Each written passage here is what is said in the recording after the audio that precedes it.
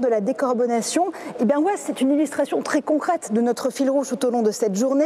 Comment l'Open Innovation permet de résister à la crise et de répondre aux enjeux de demain. Bien sûr, pour en parler, Sandra autour de cette table, j'ai beaucoup de chance parce que j'ai ceux qui font justement cette énergie de demain et qui permettent de gérer la fameuse intermittence dont on va parler avec vous, Stanislas Crevoisier, puisque vous êtes responsable du département Smart Energy et Digital Lab de Total. Vous portez l'innovation collaborative du groupe dans le domaine du renouvelable. À nos côtés également, deux des trois startups sur lesquelles on va faire des focus. Cyril Collin, vous êtes le CEO d'Elum. Bonjour. Bonjour à vous. Et Maxence Chotard, le CEO des Ox. Bonjour. Et en duplex depuis La Réunion, on rejoindra dans quelques minutes Nicolas Schmitz pour Réuni Watts. Bonjour Nicolas. Restez avec nous. Bonjour à tous. On va avoir nouveau encore une fois dans un quart de seconde. D'abord Stanislas, je voulais quand même revenir avec vous sur le travail que vous fournissez aux côtés des startups parce que c'est important. Patrick Pouyanné le disait tout à l'heure, dans huit jours, si je ne m'abuse, il y a un changement très important de marque chez Total, Total Énergie au pluriel. On sort du thermique, on va vers une réorientation totale alors, il y a une situation générale que Patrick Pouyanné répète souvent d'ailleurs, c'est qu'il y a une situation qui est que la population mondiale continue de croître, et cette population va continuer à avoir besoin d'énergie, il faudra que cette énergie soit disponible, fiable, abordable et décarbonée. Et on peut résumer ça sur un défi que nous devons tous relever collectivement, d'ailleurs, les grandes entreprises, les startups, les académiques, les citoyens, qui est comment avoir plus d'énergie avec moins d'émissions. Euh, et donc le groupe Total euh, s'inscrit pleinement dans- pour euh, relever ce défi avec quelques annonces très fortes, avant même le changement de, de nom qui interviendra bientôt, euh, avec des engagements pour la neutralité carbone en 2050, y compris en- sur ce qu'on appelle le scope 3, donc l'utilisation que font nos clients de nos produits euh, pour les géographies qui le permettent, donc surtout l'Europe. Et avec des ambitions extrêmement fortes dans le renouvelable, puisqu'on vise une installation de 100 gigawatts de renouvelables, principalement de l'éolien et du, et du solaire, à horizon 2030, ce qui va venir très vite. Et voilà, comme on disait, c'est un défi collectif. Et le- l'une des difficultés de ce renouvelable, c'est qu'il est extrêmement dépendant des conditions climatiques et donc il est euh, intermittent. Et la question qui est posée, c'est comment on va gérer efficacement cette intermittence pour que cette population croissante puisse continuer à bénéficier d'une énergie fiable, disponible, abordable et décarbonée. Ouais, c'est crucial, c'est chez non manquant finalement dans euh, le nouvel écosystème des énergies, encore une fois au pluriel, si je vous entends bien. Tout à fait. Le système électrique, avant tout, c'est la physique qui veut ça. Il faut qu'en permanence, on assure l'équilibre entre ce qui est produit et ce qui est consommé. Ouais. Et le fait de remplacer des centrales thermiques euh, qui étaient émettrices de CO2 ou de déchets, euh, par exemple le nucléaire, euh, mais qui avaient l'avantage d'être pilotables et très prévisibles, on est en train de les remplacer par des renouvelables qui n'émettent pas de CO2, mais qui par contre, étant dépendants des conditions climatiques, vont être intermittentes. Et pourtant, il faut que nous, on continue d'assurer en permanence l'équilibre entre la production et la consommation. Et donc c'est pour cela qu'il faut qu'on réfléchisse à de nouveaux, euh, nouvelles façons de faire. Et euh, pour assurer cet équilibre, et parmi ces façons de faire, il y a le fait de- d'utiliser des solutions de stockage d'énergie, le fait de pouvoir déplacer des charges de consommation d'énergie euh, pour que le système puisse continuer à tenir. Voilà, on peut presque faire une analogie avec le, le corps humain. Puisqu'il va falloir euh, imaginer des systèmes pour gérer ça.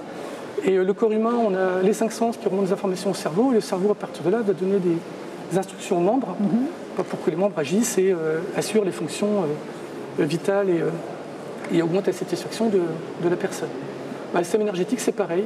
On va avoir besoin de, de capteurs et d'informations sur le système. C'est les yeux, comme typiquement ce que propose ReneWatt. Ouais. On va avoir besoin de, de bras pour être capable d'agir sur le système, typiquement ce que propose SOX. Et au milieu de tout ça, il va faudra également un cerveau euh, Ouais. qui, en fonction de, qui mettra en commun les informations des, des yeux pour l'action des bras euh, et pour optimiser le système. Et c'est ce qu'on appelle les systèmes de gestion d'énergie, Energy Management System ou EMS en anglais, et qui est ce que propose la société elle. Donc si je comprends bien, on a l'orchestration parfaite avec vous quatre euh, aujourd'hui de la façon dont on va pouvoir orchestrer, opérer ce nouvel écosystème de l'énergie renouvelable. Mais si je suis, allez, je jouer avec vous, si je suis justement l'analogie du corps humain, la production de renouvelables dans ce schéma, elle se situe où? Alors la production de renouvelables, c'est euh, quelque part c'est l'environnement euh, par rapport au corps humain. C'est euh, l'état de fait. Nous, on, on va sentir qu'il fait froid, qu'il fait chaud. En fonction de ça, on va décider de, de faire certaines actions. Nous, la production de renouvelables, donc, on- qui est là pour remplacer encore une fois les productions thermiques qui, ont les défauts que tout le monde connaît autour du CO2 ou, mhm. des déchets. Elle va dépendre du climat, elle va, elle va varier. Et en permanence, notre objectif à nous est de savoir s'adapter à ces variations pour que ben, de plus en plus les renouvelables puissent prendre le pas sur le thermique mhm. sans mettre en danger le système. Donc en fait, c'est un bon instrument. Encore une fois, on continue cette analogie avec le corps humain et l'environnement. La douleur, c'est une sensation qui est importante pour nous parce qu'elle va nous dire à quel moment il va falloir comprendre qu'on se met en danger ou pas. C'est la même chose finalement ici sur cet écosystème. On va partir tout de suite, je l'avais promis, voir Nicolas du côté de la Réunion. Il a bien de la chance d'être dans cette belle île. Euh, justement, vous êtes très content Nicolas parce que non seulement vous êtes le CEO de ReuniWatt, mais surtout vous êtes lauréat du French Tech 120 euh, qui justement a donné sa nouvelle promotion il y a quelques semaines à peine. Vous, vous faites vraiment euh, un focus sur le mais surtout sur les photovoltaïques, les panneaux photovoltaïques. Encore une fois, c'est un vrai enjeu de gérer l'intermittence, parce qu'on se doute bien que même avec de l'énergie solaire et du photovoltaïque, il y a un moment où, quand on est par temps nuageux, quand on est sur un temps un peu comme celui qu'on avait hier, pas aujourd'hui parce qu'il fait très beau aujourd'hui sur le plateau de Saclay, mais hier, un temps un peu mi-figue mi-raisin, ben, le moment où il faudra pouvoir déployer l'énergie solaire, il faut qu'elle ait été stockée avant. Jusque-là, tout va bien. Et là, vous intervenez.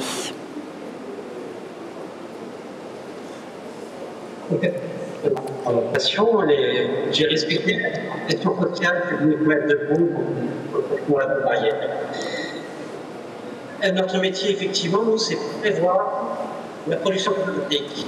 on va prévoir ce qui sera injecté sur le réseau demain, ce qui sera injecté dans les prochaines heures, ce qui sera injecté dans les prochaines minutes par les politiques sur le réseau électrique.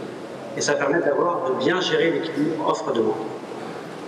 Donc si je vous entends bien, ce que vous nous proposez avant tout avec Watt, c'est cette prévision de la façon dont on pourra déployer l'énergie qui a été préalablement stockée. C'est bien ça, je ne dis pas de bêtises. Hein. Euh, si, je dis une grosse bêtise. On va, on, va on va, donner de l'information que, par exemple, la Syrie de l'ILU, pour mhm. pouvoir digérer, pour voir comment mieux gérer l'équilibre savoir qu'est-ce qu'on va ajouter directement sur le SRIC, qu'est-ce qu'on va mettre dans le stockage et quand est-ce qu'on va pouvoir utiliser au mieux. Donc nous, on est les yeux qui voient arriver les nuages et voient arriver de l'ombre. Mhm. On va pouvoir dire quand est-ce qu'il y aura la production dans les prochaines minutes, dans les prochaines heures. Et derrière, cette information sera digérée par un OMS qui va piloter le stockage ou l'injection directe. Donc on travaille main dans la main, dans la chaîne de valeur, on est mhm. à deux segments complémentaires. Et on revoit en nouveau cet écosystème qui se met vraiment en place et cette complémentarité entre vous tous ici sur ce, sur ce panel. Eh, j'ai envie de vous demander votre lien avec Paris-Saclay. Pourquoi est-ce qu'on vous rejoint aujourd'hui à La Réunion eh, pour mettre aussi en valeur les savoir-faire et le faire-savoir de Paris-Saclay avec Réunion Watt?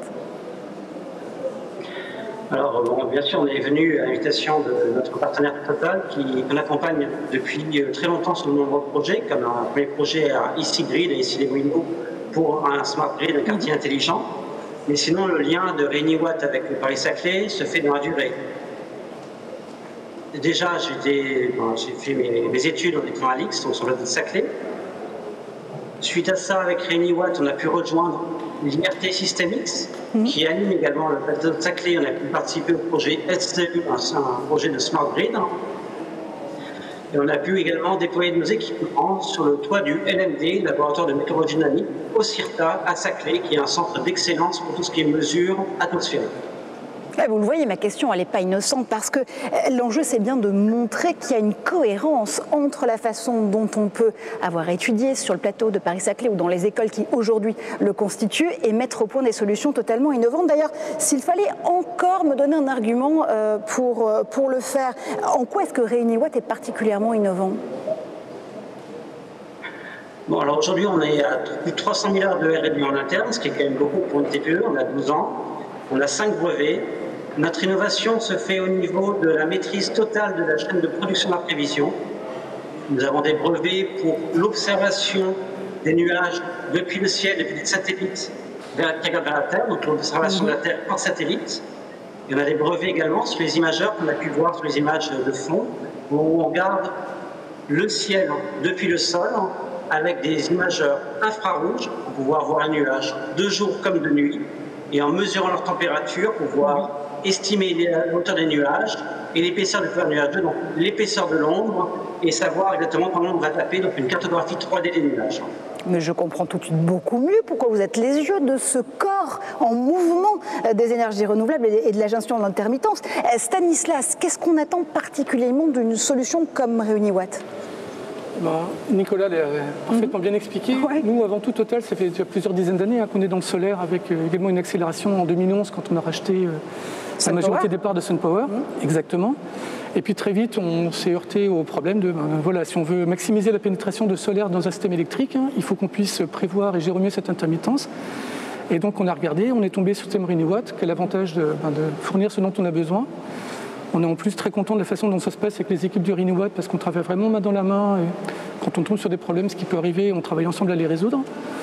Et à partir du moment où on a des startups qui nous proposent déjà ce, ce dont on a besoin, bah, ça nous permet, nous, de déployer nos équipes sur d'autres sujets et de concentrer sur d'autres sujets sans se, sans se poser de questions, sans chercher à tout faire.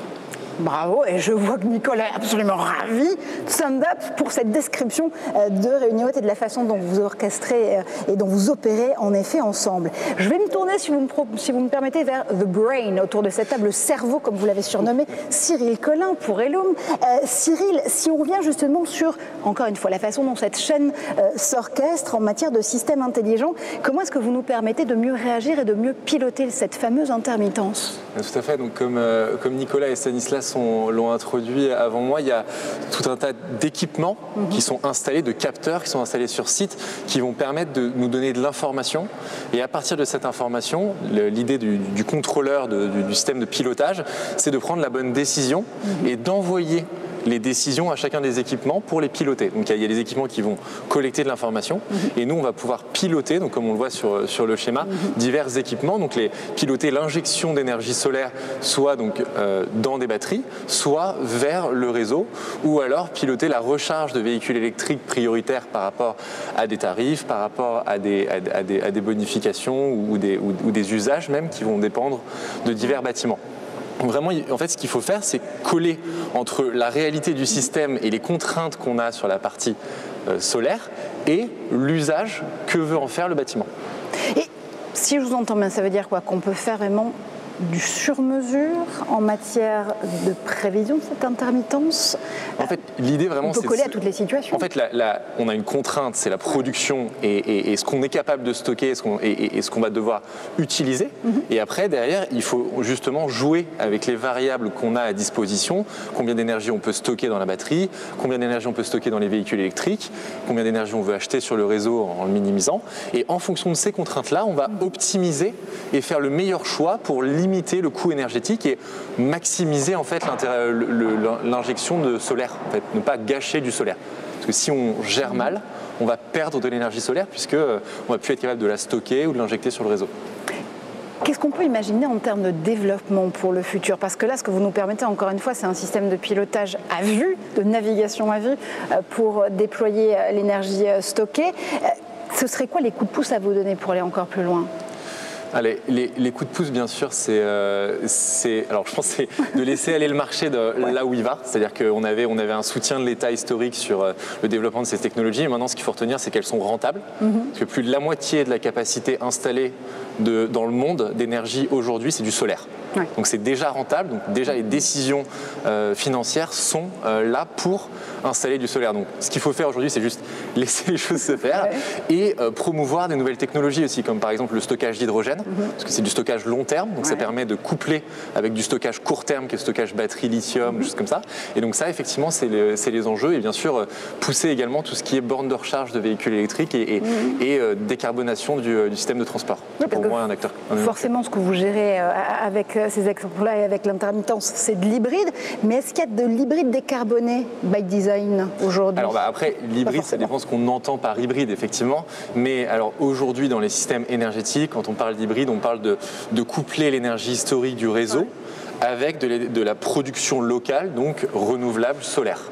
Et donc à partir de là, on parle effectivement de système hybride, puisqu'on a plusieurs sources d'énergie et plusieurs euh, endroits pour, pour la, faire euh, aller finalement, donc euh, des batteries pour la stocker mhm. et pour l'utiliser plus tard, ou injecter vers le réseau pour une utilisation à, un moment donné.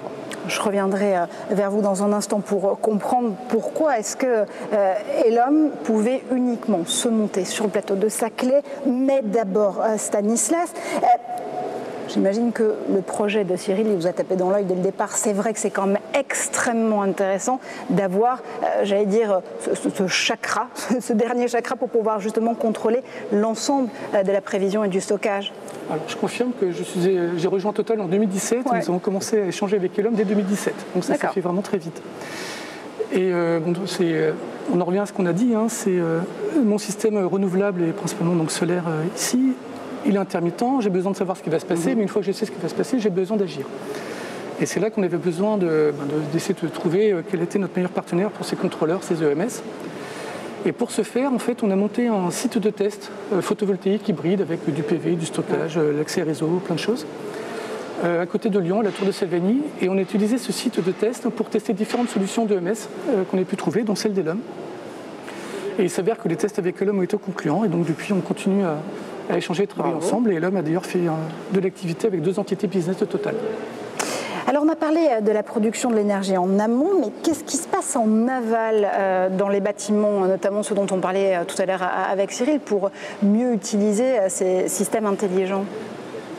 Eh bien, Encore une fois, pour gérer cette intermittence, il y a le fait de savoir ce qui va se passer, de pouvoir envoyer des ordres, il y a le stockage dont Cyril a tout à fait parlé, mais il y a un autre système dont Cyril a également parlé un peu avec les véhicules électriques, mais il n'y a pas que ça, qui sont les charges pilotables.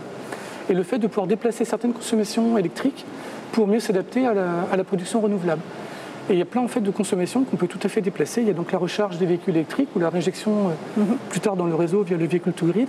Il y a le chauffage, l'eau chaude, il y a des processus industriels, etc. Et il s'avère donc qu'on a un projet nous d'équipement d'un bâtiment euh, sur le plateau de Saclay euh, pour en faire un micro-réseau énergétique avec production, mhm. stockage et pilotage de charge local.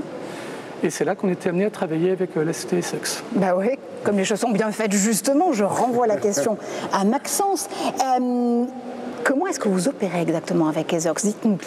Donc, nous, l'objectif, en fait, c'est de mieux gérer le, chauffage des bâtiments. Mhm. Le chauffage, c'est globalement 60% de la consommation finale d'énergie en France. Donc, c'est un très gros poste. Et c'est un poste qui est très mal géré au niveau de l'intermittence. C'est-à-dire que généralement, on chauffe en permanence un bâtiment, malgré un usage qui est très intermittent, où il y a des présences, des absences. Et euh, pourquoi on le gère mal aujourd'hui? C'est parce que c'est très compliqué. Mhm. On a des centaines de pièces, on a des, occupations très intermittentes très différentes. Et il faut comprendre cette intermittence. Notre objectif, nous, c'est d'équiper chaque radiateur à eau chaude des bâtiments d'un ensemble de capteurs donc de capteurs environnementaux, de capteurs de présence, mhm. qui vont être capables de comprendre l'usage de chaque pièce et derrière de générer des plannings de chauffage et d'absence qui sont adaptés à ce comportement. Donc on vient gérer cette intermittence qui est finalement euh, celle de la pièce, celle de l'usage final de l'utilisateur, pour justement euh, économiser de l'énergie euh, et apporter de l'efficience énergétique au bâtiment. Oui, il y a quelques saisons encore, on parlait beaucoup de smart building, tout devait devenir intelligent. Là, concrètement, c'est l'illustration exacte de la façon dont on peut rendre ces radiateurs eux-mêmes perceptibles à l'environnement et eux-mêmes, du coup, pouvoir gérer directement la façon dont ils vont produire de l'énergie ou pas. Intéressant, notamment en ce moment, euh, parce que quand on est dans ce contexte de crise sanitaire, où on a du présentiel, où on a du distanciel, bien plus que jamais, on a besoin de mieux adapter sa consommation énergétique. Oui, exactement. C'est des choses qu'on voit dans nos, dans nos systèmes. on, a des, on connaît le taux d'occupation des bâtiments et on voit justement ce taux d'occupation qui se réadapte automatiquement euh, aux nouveaux usages, à la, au télétravail, euh, à des présences vraiment très intermittente dans les bâtiments. Et c'est toute la force de nos systèmes et de l'intelligence et du smart building. C'est au lieu d'attendre que l'utilisateur fasse le pas pour commander le bâtiment, finalement, c'est le système qui détermine automatiquement à quel moment il faut chauffer et à quel moment il faut abaisser le chauffage mhm. pour apporter cette efficience. Donc on est indépendant finalement des usagers qui ne sont pas forcément euh, en centre de préoccupation cette partie euh, de gestion de chauffage. Ouais, puis c'est du très concret parce que euh, si je dis pas de bêtises là aussi, vous permettez à vos clients de faire en moyenne 40% d'économie d'énergie. Oui, c'est vrai qu'après, c'est très large en fonction de la typologie de bâtiment, mais effectivement, on fait 40% en moyenne. Et euh, cette, ces économies d'énergie, ce qui est très important, c'est qu'elles sont euh, complètement indépendantes de la mhm. gestion. Donc on vient simplifier aussi les processus de gestion des bâtiments euh, et on apporte cette simplicité où l'automatisation fait le pas sur, sur l'homme. Il y avait un intérêt tout particulier pour vous à travailler notamment avec Total les groupes d'énergie, les énergéticiens sont engagés, on le rappelle bien évidemment, dans cette transition climatique, mettre les énergies au pluriel à l'honneur et essayer de recomposer ce mix énergétique. Comment est-ce que ça s'est passé votre rencontre avec Stanislas? Peut-être pas avec Stanislas directement d'ailleurs, si Si, ben voilà. Si on s'est rencontrés sur, euh, sur le CES de Las Vegas. Ah ben voilà, jolie, jolie plateforme de rencontre. Euh, et effectivement, euh, c'est un lieu de rencontre pour les innovations. Mhm. Euh, et c'est vrai que nous, on a tout un intérêt à travailler avec des énergéticiens qui ont ce besoin, de, en plus de produire de l'énergie de plus en plus verte, mais aussi d'éviter le gaspillage de l'énergie mhm. dans le bâtiment. Et ça, c'est vraiment notre mission, éviter le gaspillage. Et c'est des exemples, encore une fois, très concrets. Stanislas, pourquoi, vous nous avez dit quand même déjà un petit peu, mais pourquoi est-ce que Maxence et pourquoi est-ce que ce projet-là était vraiment euh, euh, clé pour, euh, pour pouvoir bah, là aussi tester grandeur nature ce système de, gestion de l'intermittence? Qu'est-ce qu'on peut imaginer en termes de perspective d'ailleurs pour ces EMS globalement? Alors, elles vont être croissantes. Pour une raison très simple, c'est que Aujourd'hui, la pénétration de renouvelables, tant qu'elle est relativement faible, les variations peuvent être absorbées par les machines tournantes, euh, donc les centrales thermiques, mhm. qui existent aujourd'hui. Mais plus la pénétration de renouvelables va, croître, et plus il sera compliqué pour les machines tournantes, euh, bah, dont la part va baisser, d'absorber cette variation. Et donc plus nous serons amenés à devoir apporter des solutions complémentaires par rapport à cela. C'est très concret parce qu'on le voit déjà très bien aujourd'hui dans les dom-tom, c'est un sujet que Watt connaît parfaitement. Euh, qui ne sont pas reliés au gros réseau continental et où aujourd'hui, quand on injecte du renouvelable, il faut très souvent des solutions de stockage à côté pour éviter les variations trop brusques et puis assurer une, voilà, d'assurer les points de consommation, souvent le soir d'ailleurs, euh, lorsque le soleil commence à, décliner. Euh, et encore une fois, l'objectif, bien sûr, c'est, si on veut décarboner l'énergie, c'est de remplacer le central thermique par du renouvelable. Mhm. Et la gestion d'intermittence va se faire de plus en plus prégnante. Et donc, on aura de plus en plus besoin de systèmes intelligents pour s'assurer de pouvoir gérer tout cela de la manière la plus efficace possible, éviter de, vivre en France ce qui a pu être vécu dans certains États des États-Unis ces derniers mois. Absolument, on l'a compris, la gestion de l'intermittence a forcément de l'avenir. Avant de conclure ce panel, messieurs, je voulais quand même euh, vous, demander à, quel point ces projets que vous portez, qui sont plus que des projets, qui sont aujourd'hui des entreprises, qui ont des clients, qui embauchent, euh, qui ont des collaborateurs, des collaboratrices, qui réalisent du chiffre d'affaires et qui ont des perspectives de développement, pourquoi est-ce que Saclay, c'était le bon endroit pour pouvoir les propulser, les amener vers ce qu'elles sont aujourd'hui, Maxence? Je pense que c'est un très bon endroit parce qu'on peut aller plus loin. Euh, c'est vrai que nous, on opère beaucoup dans des bâtiments où on déploie nos solutions et ça s'arrête là on ne va pas chercher un écosystème. Ici, on peut vraiment lier des, entreprises, euh, partager la donnée, créer quelque chose de plus grand et plus intelligent, aller vraiment sur le smart building, smart city, mhm. avec tout cet écosystème euh, qui apporte euh, un complément. Mhm. On est des complémentaires les uns aux autres. C'est un laboratoire vivant, géant, si j'ose dire. Cyril, pour vous, c'est la même chose? Oui, alors moi c'est un peu comme Nicolas, c'est-à-dire que en fait la, société, nous, et deux associés fondateurs, est, est née bien sûr parce qu'on s'est rencontrés, on était tous les deux à, Polytechnique au début, et, donc la naissance du, projet euh, grâce à, grâce à en partie grâce à l'école, et, euh, surtout maintenant l'utilisation de notre technologie et, une partie de la recherche et développement qu'on mène est sur le plateau de Saclay, puisqu'on travaille avec des laboratoires, en, partenariat avec des laboratoires du, plateau de Saclay et de Polytechnique, en parlait, donc euh, Nicolas en parlait le laboratoire de météorologie dynamique, mhm. Et euh, aussi, on a installé un, site euh, sur un, des bâtiments, le bâtiment entrepreneurial de l'école polytechnique, avec donc des systèmes de production solaire et de stockage batterie. Et donc, il y a avec notre cerveau qui pilote ce, système. The brain, je vous l'avais dit. Non, mais voilà, c'est extrêmement simple. Euh, dernière, dernier mot avec vous, Stanislas. encore une fois.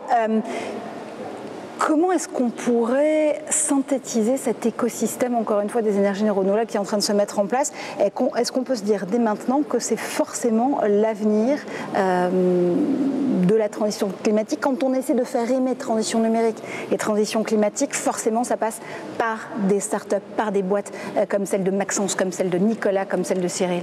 Alors j'ai commencé par une grosse généralité, qui est de dire que le problème climatique est extrêmement complexe. S'il était simple, on aurait déjà trouvé la solution.